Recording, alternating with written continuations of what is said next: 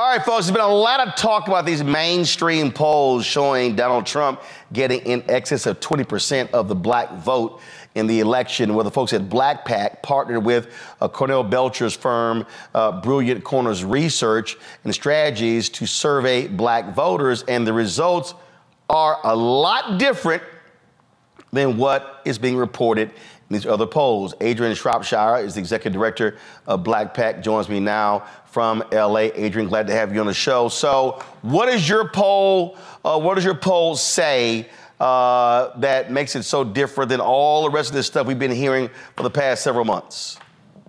So, we have actually been polling and doing focus groups for the last six months. Um, and part of that is because obviously before we head into any election cycle, we want to make sure that we are really clear on where black voters are, um, their opinions, their attitudes, how they're feeling about what is going on in the country. So we've been doing this for the last six months. So it should come as no surprise then that we um, are a little unnerved by this narrative that's emerging uh, because of recent polling that suggests, as you said, that upwards of 20% of black voters will um, will give their votes uh, to, to Donald Trump and, and the Republican Party, because no, that is not what we have seen. And in some ways, I think, you know, we certainly could look at the sample sizes in these polls. They're not robust. Um, and certainly not like the we're, we're not you know sampling or oversampling black voters. We're just polling black voters um, period. And so our sample sizes are much much more robust. Um, you know when you have a small sample size the the potential to get outliers in there and then extrapolate what black voters think based on these outliers opinions all of that is playing into this. But what i can tell you is that our polling for the last uh, six months and our focus groups um, don't suggest at all um, that there is some historic uh, number of black folks that are saying that they're going to vote for Donald Trump. There is no racial realignment that appears to be happening um, in the research that that we're doing. And in fact, um, you know, the support levels for Donald Trump uh, have not risen uh, since 2020 uh, in the research that we've done. So he has all you know gotten between eight and 12 percent um, of Black voters saying that they're going to support him going back to 2020. And I think the same is true for the thermometer that we use. You know, we use a thermometer. We ask people how warm or cold they feel um, toward a candidate. Um, and Donald Trump's thermometer has hovered just above zero. Um, you know, the coldest of cold um, in our research going all the way back to 2016. So it is um, unsettling to hear, and, and, and, not so much the polls themselves, but there is a narrative emerging that suggests that black people are going to do something that the actual voter turnout data doesn't say. So we can look at the polls and what people are saying, but we actually need to look at what happens and what has happened on election day when black people have been asked to turn out and support support either Donald Trump or the Republican Party because those numbers are strikingly and not surprisingly much lower than what any poll, what any mainstream media poll has has said. So, uh, and again, we look at these other polls. Uh, we are a fraction of those polled. Well, that, that's a lot different. Your poll, we are the entire poll. So you're right. getting a much better and robust understanding of black people and their thoughts and perspectives in your poll because it's just black people. It is not. Yeah, that's right. It's just it's just black folks, and so you you're going to get a range of opinions. And I think that you know we always say because we know this that black folks are not a monolith, and that is true. But there are some things that that, that black people have agreed on. there are some things that are uh, that are very clear to us in terms of what is at stake. And this is the other thing that I you know that, that just rings true for us. Um, and obviously is you know um, the opposite of what the mainstream polling is saying. We've been asking this question for the last last six months. Um, what is the biggest threat to the black community? We ask it in our polls and we ask it in our focus groups. And the number one answer is the reelection of Donald Trump, followed closely at number two by white supremacy. Those two things are not unrelated in the minds of black folks. So black people are very clear about the threat that Donald Trump poses to this country. They're very clear about the threat that he poses to American democracy, but they're also really clear about the threat that he poses specifically to our community. And so it is hard for me to believe that people who believe that Donald Trump is the single greatest threat to the black community are also somehow then going to give him 20% of our vote vote above and beyond what we have done for him or Republicans over the last several election cycles. Um, this right here, go to my iPad, uh, uh, the slides that you guys, that y'all presented, uh, and, and, you're showing actual results. 2016 exit polls uh, show 8%, Pew said 6. Uh, in 2020, uh, exit polls showed 12, Pew said 8. Um, and then in 2022, uh, exit polls show nine, uh, and it was six. But one of the things that uh, polls of Terrance Woodbury uh, uh, show uh, is that it it does. now this is and this is what I try to explain to people. This is national overall, but depending upon the state, that's different. So he said that Trump did better among African Americans, especially black men in North Carolina, and the spillover that affected Thom Tillis. Uh, and so I'm always trying to explain to people when you see these polls being discussed on television, they sort of mean nothing because a presidential election are state elections. It's really what's happening in Georgia, North Carolina, Pennsylvania, Wisconsin, uh, as opposed to you know, across the country because the reality is the election is going to come down to about seven or eight states. Mm-hmm.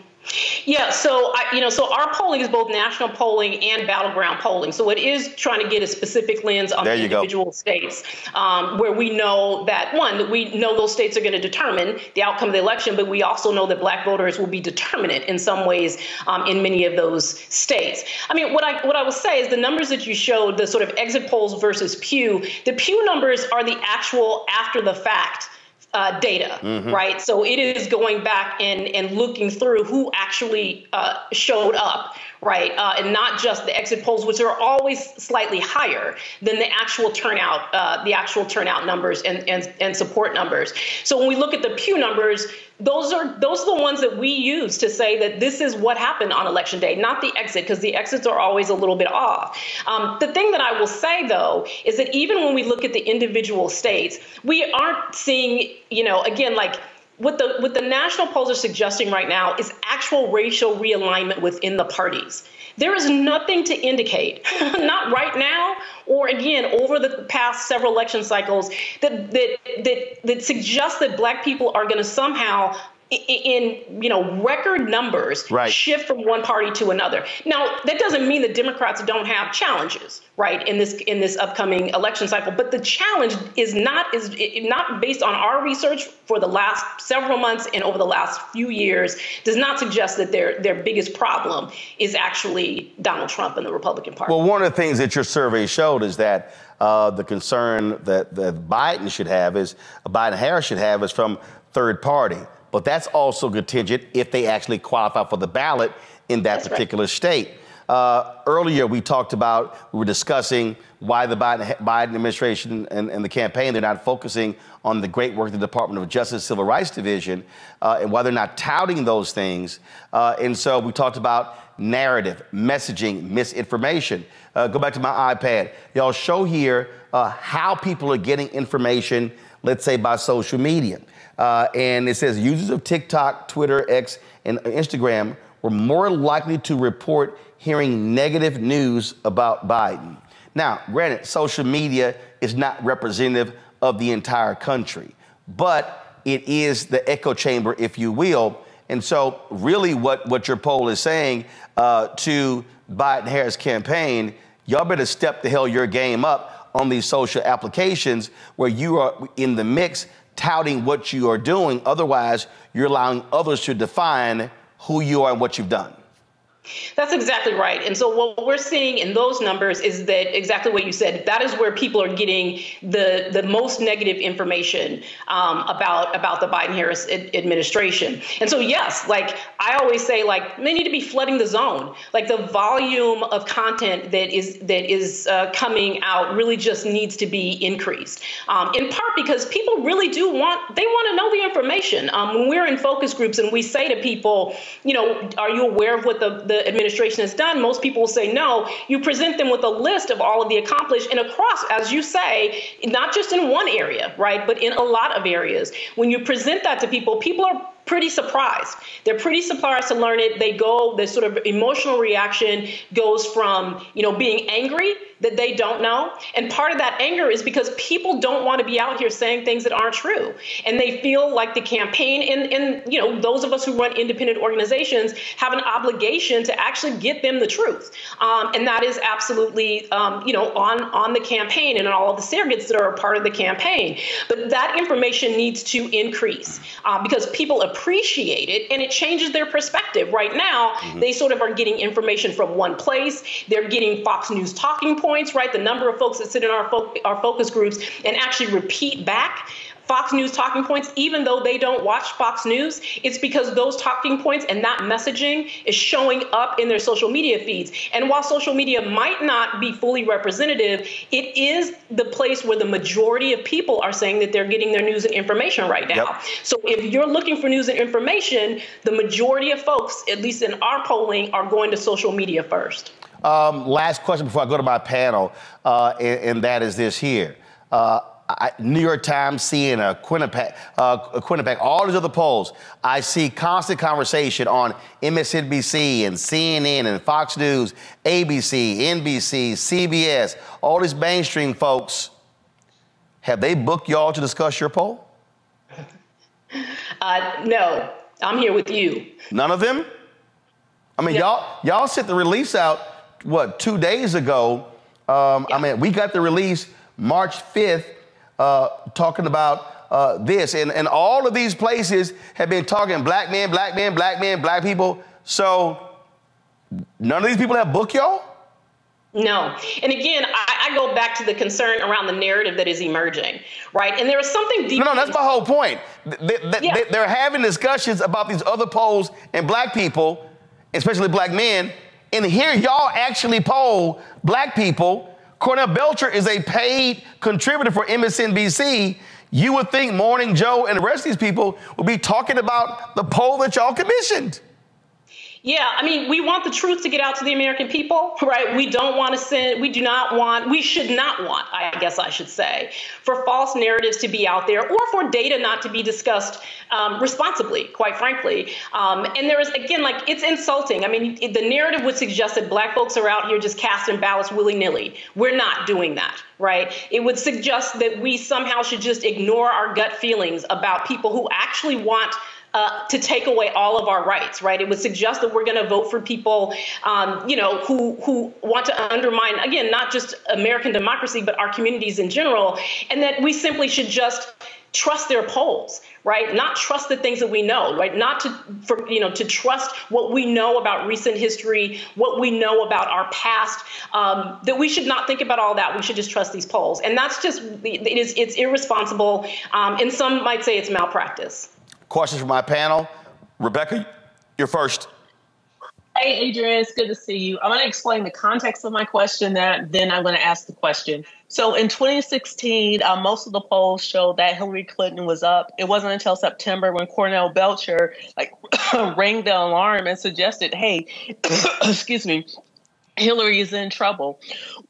One thing that um, most of the pollsters didn't take into account is that Trump was able to draw white voters who normally don't show up in elections. So I've really been listening hard to Trump's rhetoric, especially over the last few months um, for this go round. And it sounds like the rhetoric he's using is to try to draw out black people who normally don't vote, but to draw them out and get them to convert and become Trump voters. Do you think that's possibly what Trump is trying to do, especially when he keeps touting black support? Um, because one thing that I noticed by looking um, through um, this polling memo, it talks about likely African American voters, talks about registered um, African American voters. Is there a chance that there are some Black folks who are not registered yet, who are who will be new to voting this year?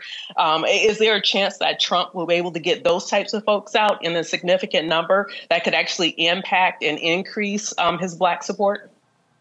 I actually don't think that the strategy is about winning over black voters at all. And I don't think that it ever is with the Republican Party. I think that it is about depressing the vote. I think it is about convincing black people that they shouldn't trust Democrats and therefore it's not worth their time to come out.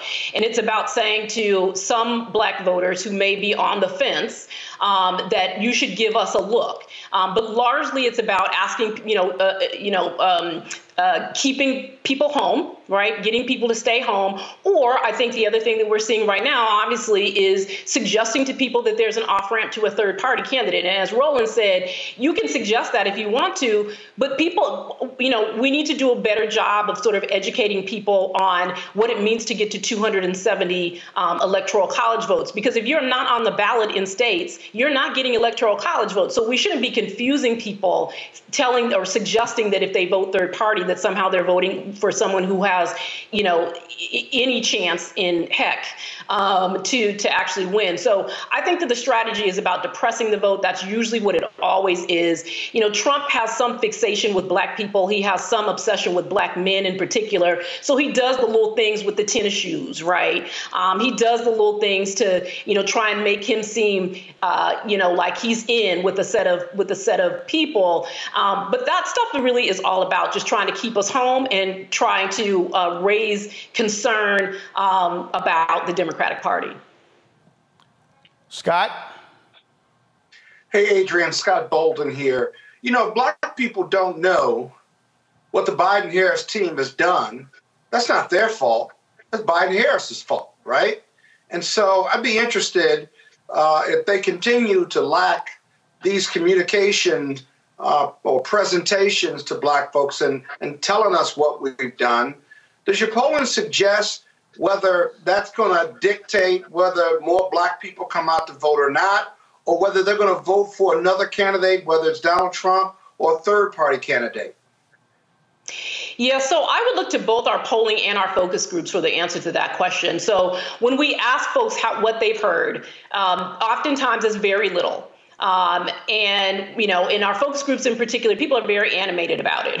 Right? Mm-hmm. They're very clear that they, they have not heard anything. Um, and mm-hmm. once you once we present to them, though, once we say, well, here are the things, right? Here are the things that we have said as a community are important to us, and here are the things that the Biden-Harris administration have done.